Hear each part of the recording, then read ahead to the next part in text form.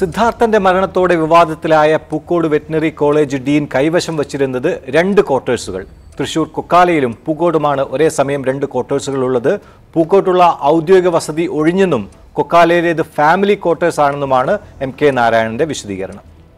രണ്ടു കൊല്ലം മുമ്പാണ് വെറ്റിനറി സർവകലാശാല പൂക്കോട് കോളേജ് ഡീനായി ഡോക്ടർ എം കെ നാരായണൻ ചുമതലയേൽക്കുന്നത്. ഡീനിന് താമസിക്കാനായി സർവകലാശാല പൂക്കോട് ഒരു ക്വാർട്ടേഴ്സ് അനുവദിച്ചു. ഇത് ലഭിച്ചിട്ടും ഡോക്ടർ എം കെ നാരായണൻ സർവകലാശാലയുടെ കീഴിലുള്ള തൃശൂർ കൊക്കാല മൃഗാശുപത്രി വളപ്പിലുള്ള ക്വാർട്ടേഴ്സ് ഒഴിഞ്ഞുകൊടുക്കാൻ തയ്യാറായില്ലെന്നാണ് ഉയർന്ന പരാതി. ആശുപത്രിയിലെ ഡോക്ടർക്ക് താമസിച്ച് ചികിത്സ നടത്തുന്നതിനാണ് ഈ ക്വാർട്ടേഴ്സ് അനുവദിച്ചിരിക്കുന്നത്. നാരായണൻ ഒഴിഞ്ഞുകൊടുക്കാത്തതിനാൽ പകൽ മാത്രമേ ഇവിടെ ഡോക്ടറുടെ സേവനമുള്ളൂ. നടപടിയെടുക്കാൻ ഗവൺമെന്റ് നടപടി എടുത്തിട്ടും ഒഴിയാത്ത സാഹചര്യത്തിൽ ഒരു സാധാരണക്കാരനാണെങ്കിൽ പോലീസ് നടപടി നിങ്ങൾ എടുക്കുമായിരുന്നു.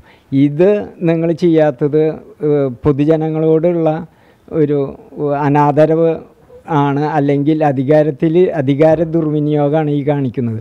റെസിഡന്റിന് സേവനം ലഭിക്കുന്നില്ലെന്ന് കാണിച്ച് ആൻഡോ ഒല്ലുകാരൻ നൽകിയ പരാതിയെ തുടർന്ന് കെട്ടിടമൊഴിയാൻ ഡോക്ടർ എം കെ നാരായണന് സർവകലാശാല നിർദ്ദേശം നൽകിയെങ്കിലും അദ്ദേഹം അതിന് തയ്യാറായില്ല. എന്നാൽ പൂക്കോടുള്ളത് ഔദ്യോഗിക വസതിയാണെന്നും അതൊഴിയാൻ കത്ത് നൽകിയിട്ടുണ്ടെന്നും ഡോക്ടർ എം കെ നാരായണൻ വിശദീകരിച്ചു. കൊക്കാലം മൃഗാശുപത്രിയിലെ ക്വാർട്ടേഴ്സ് തനിക്ക് ലഭിച്ച ഫാമിലി ക്വാർട്ടേഴ്സാണെന്നും അദ്ദേഹം വാദിക്കുന്നു. ഏഷ്യാനെറ്റ് ന്യൂസ് തൃശൂർ.